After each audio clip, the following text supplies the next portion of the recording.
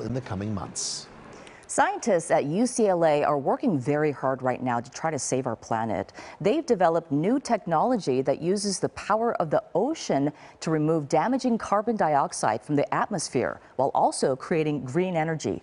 KCAL News reporter Rina Nakano explains how it works.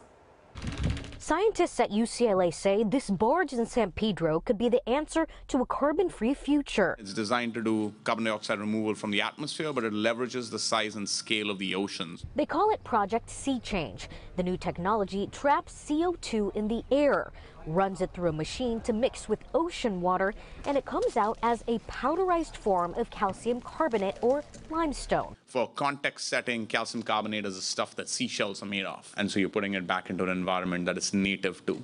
Two years ago, engineers started with this 4 by 4 inch model in the lab. Wednesday morning, they unveiled a life size prototype in LA.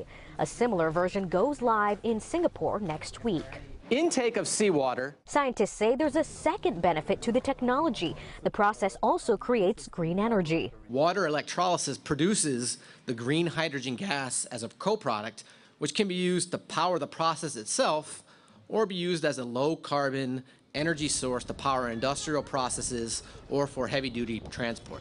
As with any new technology, this isn't cheap, but researchers do say they have a specific measure of success. How do you achieve carbon dioxide removal from the atmosphere at a cost that is well below $100 a metric ton?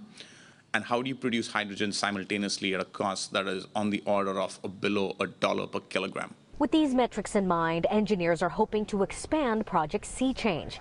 By comparing results with the unit in Singapore, they hope to improve and expand the technology to be used in real world settings to move toward a carbon free world carbon credits that you would generate from a plant of this sort would be used to decarbonize industry, as an example. Think of aviation, but it would also be used, for example, to sell credits on the voluntary carbon markets. In San Pedro, I'm Rina Nakano, KCAL News.